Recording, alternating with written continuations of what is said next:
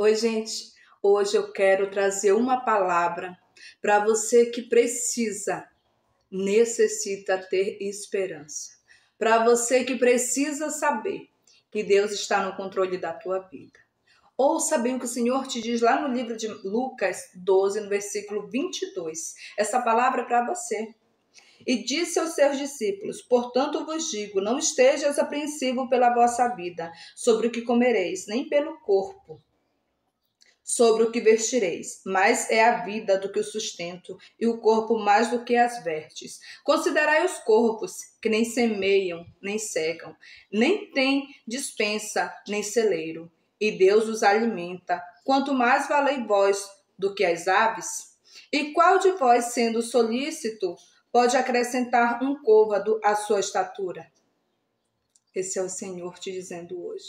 Não se preocupa. O que você não pode fazer, ele faz por você. Você não pode fazer nada aonde somente a mão de Deus pode fazer por você. Não importa se hoje te falta algo que você tanto queria.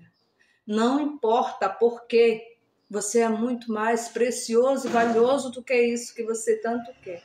Mas ouve bem o que o Senhor vai te dizer mais aqui na frente. Pois se nem ainda podeis as coisas mínimas, por que estás ansioso pelas outras?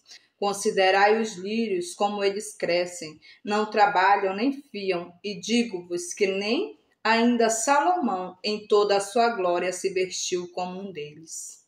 E se Deus assim veste a erva que hoje está no campo e amanhã é lançada no forno, quanto mais a vós, homens de pequena fé.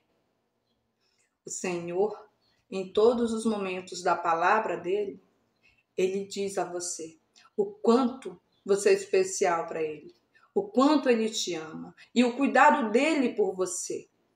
O Senhor te diz hoje, por mais que você não possa, ele pode por você. Por mais que hoje esteja te faltando algo que você queira muito, o Senhor vai entrar com providência. Porque o Senhor te escolheu e não para viver uma vida de sofrimento, mas para ser vencedor. Escuta mais um pouco o que o Senhor te diz. Não perguntei, pois, que haveis de comer ou que haveis de beber, e não andeis inquieto, porque os gentios do mundo buscam todas essas coisas, mas vosso Pai sabe que necessita delas. O Senhor mais uma vez te diz: nada passa diante dos olhos do Senhor sem que ele veja. O Senhor sabe todas as tuas necessidades. O Senhor conhece o teu coração. Ele sabe do desejo do teu coração. Ele sabe de tudo o que você precisa. Mas o Senhor vai te dizer algo nesse momento e você vai saber como é que o Senhor trabalha na tua vida através dessa palavra. Buscai antes o reino de Deus, e todas essas coisas vos serão acrescentadas em meio à tua dificuldade, em meio à tua luta, busca o reino dos céus. Clama ao Senhor, ora a Ele, chama a atenção do Senhor e apresenta ao Senhor o que você tanto precisa. Busca o reino dos céus, porque o Senhor irá sim acrescentar tudo o que você precisa. O nosso maior erro como seres humanos falhos e fracos que somos, muitas das vezes é tentar resolver os nossos problemas com a nossa força do braço ou com a inteligência limitada que nós temos. A palavra de Deus diz que a inteligência do homem é loucura para Deus. Muitos de nós nos achamos que entendemos de algo e acabamos tentando resolver, achando que podemos. Muitas das vezes a gente tenta solucionar os problemas que somente Deus pode solucionar. E o Senhor te diz hoje: não andeis ociosos, não andei preocupado com o que você vai comer, com o que você vai vestir, como você vai resolver os seus problemas.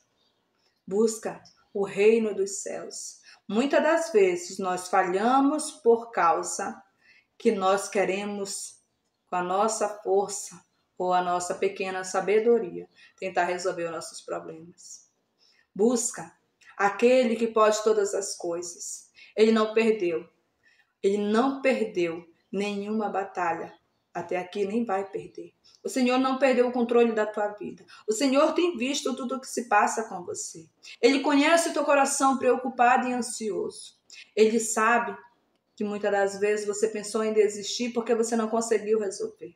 O Senhor vê que muitas das vezes a nossa falta de fé faz com que a gente se afaste dele. O Senhor ele não se afasta de nós. Somos nós, com os nossos pecados, as nossas falhas, que acabamos nos afastando da presença de Deus.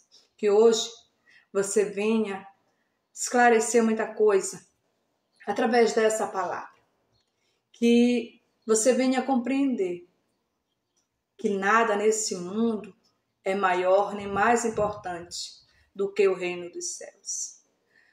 Juntai tesouro nos céus e não na terra você sim, você tem promessas sobre a tua vida assim que você vai viver o melhor dessa terra. O Senhor quer que você seja próspero. Mas a palavra de Deus diz: aonde está o teu tesouro, lá também estará o teu coração. Ajuntai tesouro aonde traça não corrói e o homem não rouba nos céus.